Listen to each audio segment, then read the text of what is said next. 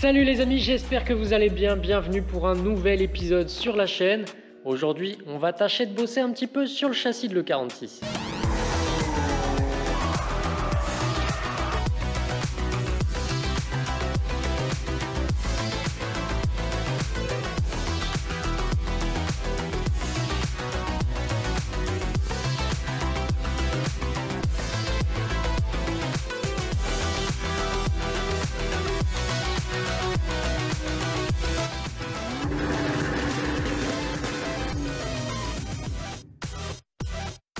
Bon alors déjà les amis, on va récapituler un petit peu la configuration de la voiture. Qu'est-ce qu'on a aujourd'hui déjà niveau châssis et qu'est-ce qu'on va pouvoir améliorer histoire d'optimiser le comportement de la caisse. Sachant qu'on est encore un peu loin de le 92, c'est pas catastrophique. L'objectif déjà c'est de réussir à atteindre un niveau de châssis quasi aussi bon. Pour l'instant on n'y est pas. Il n'y a pas un fossé énorme à rattraper, on va pouvoir y arriver. Bon alors déjà dans cette jolie E46 Turbo, on a déjà deux magnifiques baquets super légers par rapport au siège d'origine. À l'arrière, c'est à la tôle, mais tu peux voir qu'il y a du boulot de déblaxonnage à faire, qu'il y a un petit peu à gagner à ce niveau-là, un petit peu à gagner au niveau du faisceau. Après, j'ai pas trop envie de m'amuser à aller dans l'extrême. Vu les chevaux qu'on a, c'est pas forcément nécessaire. Au niveau de l'arrière, on retrouve la même chose, c'est vidé quasi à la tôle partout. On retrouve une barre anti-rapprochement à l'arrière. Le déblaxonnage, tu as vu que je n'ai pas encore fait, mais qui viendra. On aura un petit peu de gain également à ce niveau-là. On a une batterie qui divise le poids de la batterie par deux. Euh, la batterie d'origine fait 20 kg, là on arrive plutôt vers les 9 kg, donc il y a un gros gain de poids à ce niveau-là. Tu peux voir qu'on a dépouillé également le coffre. Alors sinon au niveau spec, au niveau du châssis, ce qui est intéressant à savoir aussi, c'est nos euh, montes pneumatiques. On est en 225 sur l'avant pour le moment et en 255 derrière. On va passer déjà dans un premier temps sur toujours des pneus route comme je t'expliquais mais sur des gommes plus tendres et on va pouvoir passer sur des semi-slick un petit peu après.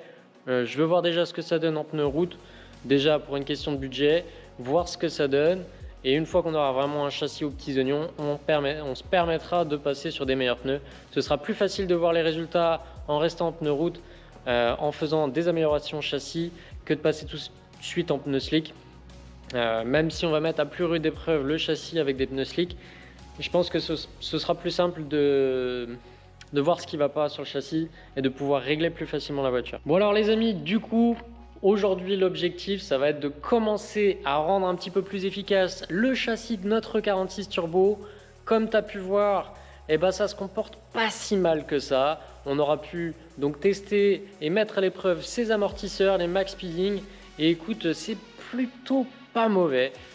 Franchement, j'ai pas eu de mauvais feeling, à part, comme je te l'ai déjà expliqué, un roulis trop important. Malgré euh, qu'on a réglé, pareil, les quatre coins, les quatre amortisseurs réglés normalement plus rigide, et eh ben moi je trouve ça toujours un petit peu trop souple pour de l'utilisation piste. Euh, voilà, ça c'est vraiment mon premier ressenti vis-à-vis des combinés. La prise de roulis trop importante et le manque de rigidité des combinés pour une utilisation piste. Néanmoins, on va tâcher euh, de justement récupérer et de faire mieux que ça. On va corriger ce problème-là et je vais te montrer comment on va faire. Alors les petits éléments que tu vois là, ils vont venir accompagner le montage de justement grosses barres anti-roulis devant et également, dans un deuxième temps, on prendra une grosse barre anti-roulis pour l'arrière aussi de la voiture. Donc voilà, c'est ce qu'on trouve de plus gros sur le marché pour les berlines quasiment. Euh, le fait d'augmenter donc ce diamètre de barre anti-roulis, en fait ta barre anti-roulis fonctionne comme un ressort. Elle va se tordre, se déformer pour pouvoir relier en fait les deux amortisseurs et c'est elle qui va encaisser euh, la différence de niveau et transmettre le mouvement d'un amortisseur vers l'autre amortisseur pour qu'il travaille plus ou moins de la même manière.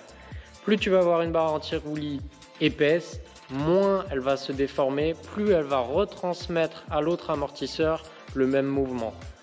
Évidemment, donc quand tu viens tasser ta voiture d'un côté, quand tu as une grosse barre anti-roulis bien rigide, ça va venir tasser quasiment de la même façon ton amortisseur de l'autre côté et donc limiter les mouvements de caisse et le tassement en virage. Tu vas me dire alors c'est quoi toutes ces petites pièces? Je vais te montrer ça, ça va aller de pair avec le montage et le remplacement de nos nouvelles barres anti-roulis et je vais te montrer pourquoi. Si on remplace cette barre anti-roulis pour pouvoir la remplacer par une barre plus grosse, afin de limiter les mouvements de caisse, il faut absolument qu'on remplace également ces cylindres blocs pour pas qu'ils viennent absorber toute la déformation.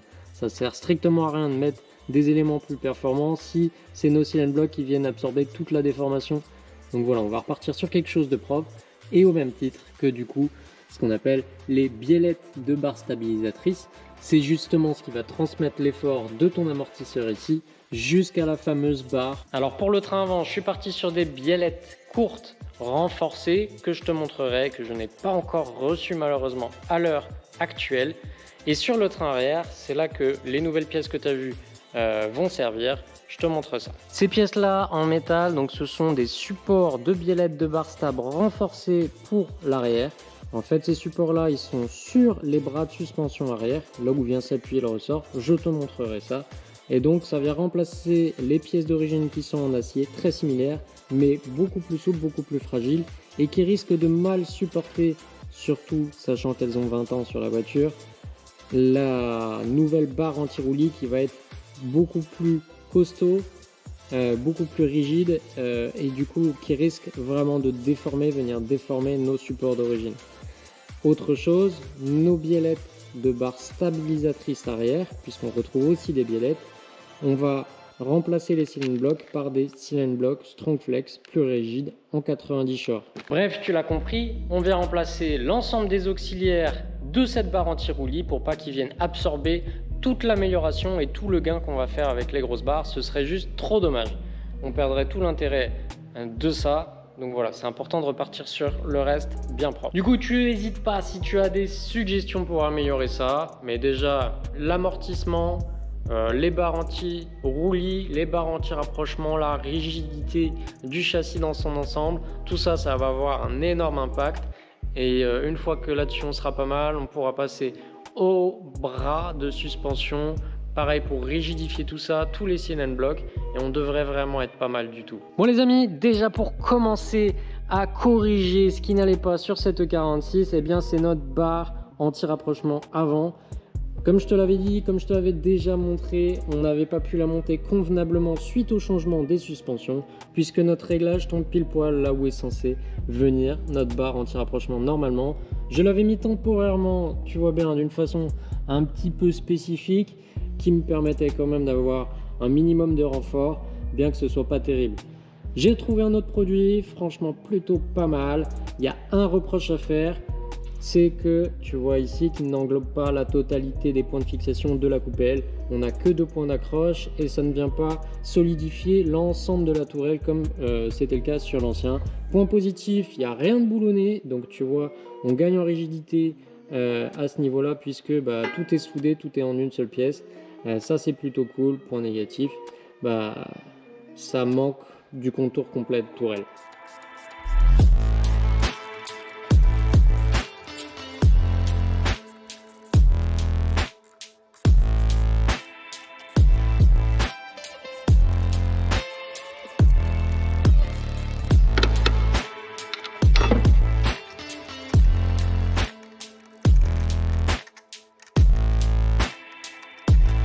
Tout est déposé par rapport à l'ancienne barre anti-rapprochement. J'ai fait un petit coup de propre au niveau de nos tourelles d'amortisseur et on va pouvoir monter notre nouvelle barre.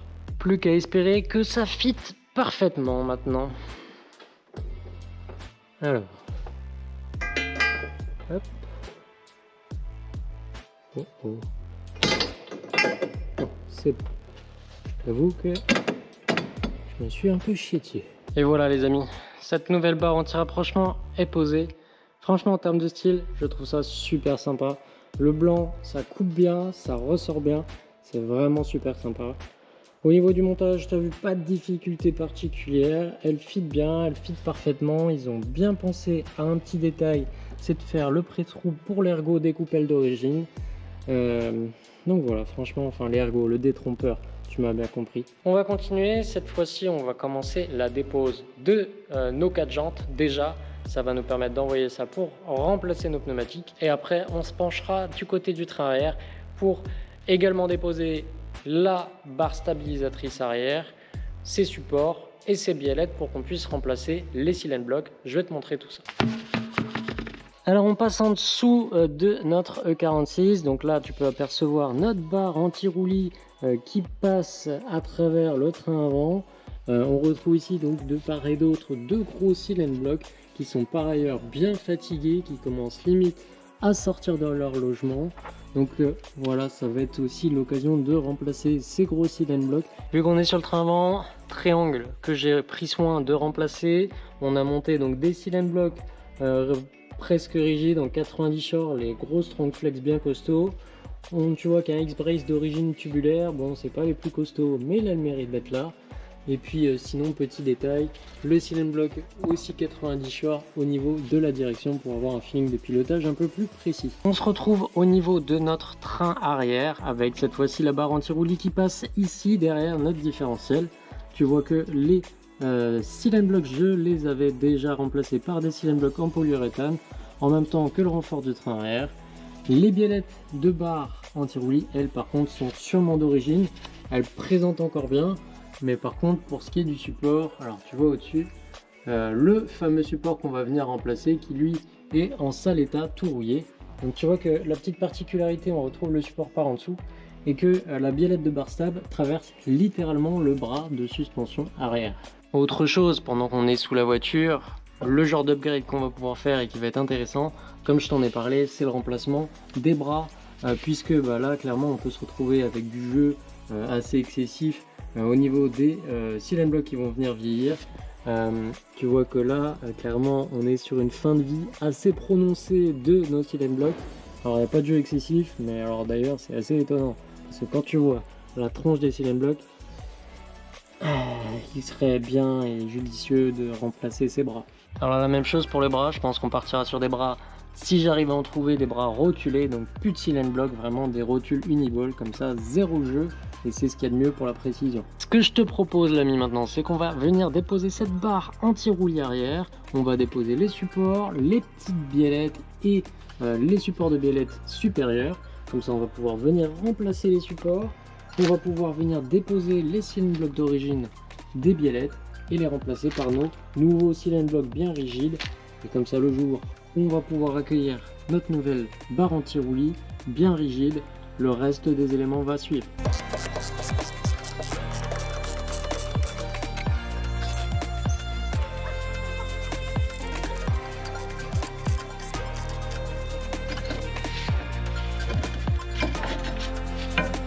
Bon, les biellettes de barre stabilisatrice arrière sont déposées avec leur support. Par contre, euh, la moins bonne surprise, c'est que tu vois ici, on a un écrou. De l'autre côté, c'est bidouillé parce qu'il y en a deux.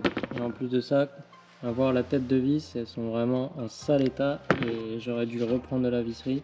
On va voir si j'ai de quoi remplacer ça avec ce que j'ai déjà de côté, mais c'est pas sûr.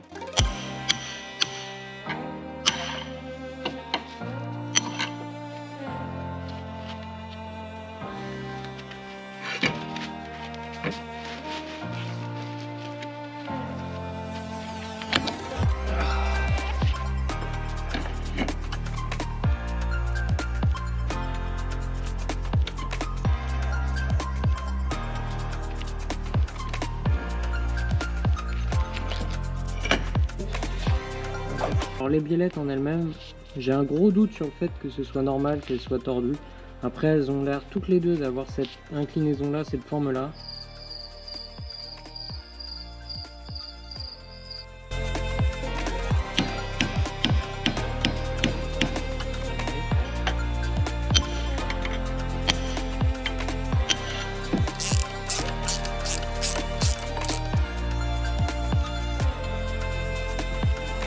c'est le bloc qui sort avec. Impeccable. Magnifique.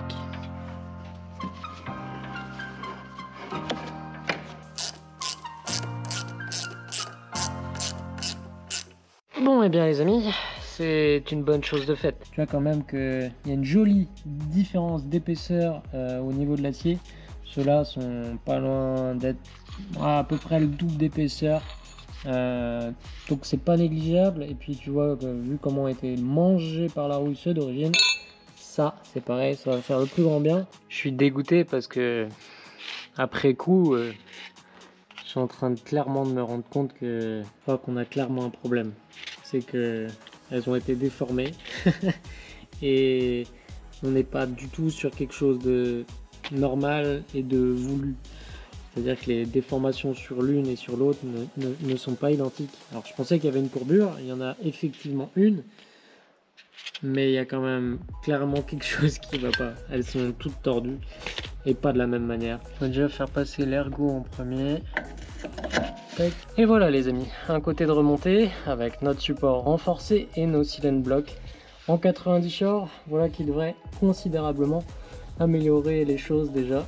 Bon bah voilà les amis, tout est remonté, les deux nouveaux supports, les biellettes avec euh, les silent blocks tout neufs, tout est remonté, mais je t'avoue que je suis moyennement satisfait du résultat. Bon les amis, on va devoir clôturer l'épisode là-dessus. Je suis un peu mitigé sur euh, le résultat.